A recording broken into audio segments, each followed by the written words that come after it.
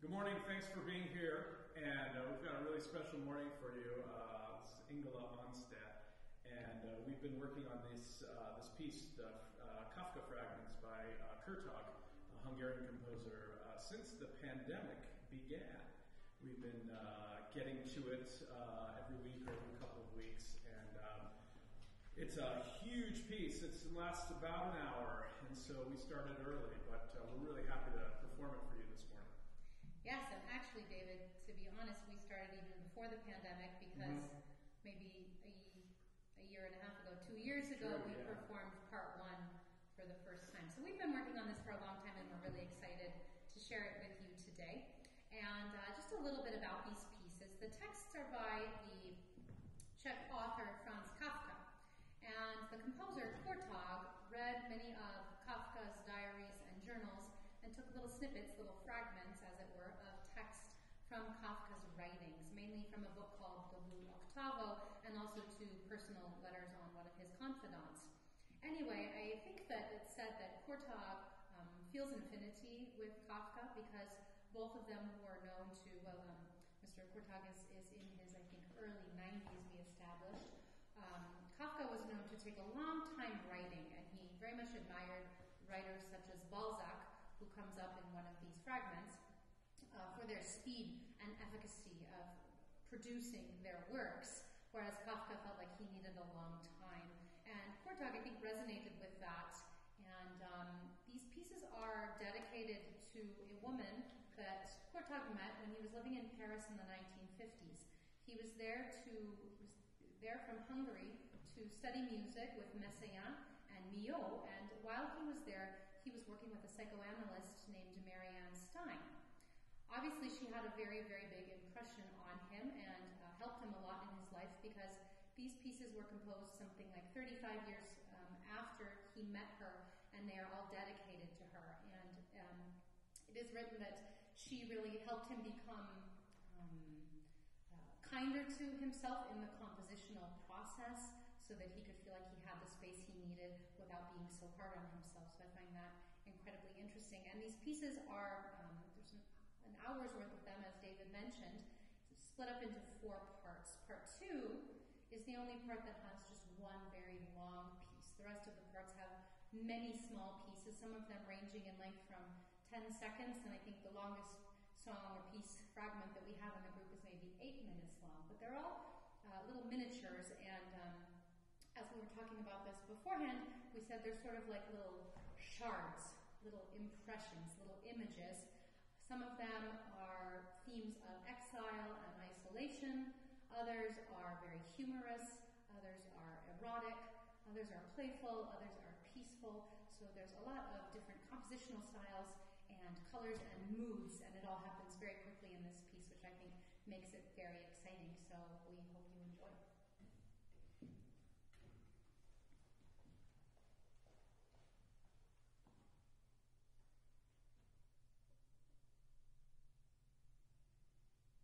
Thank you.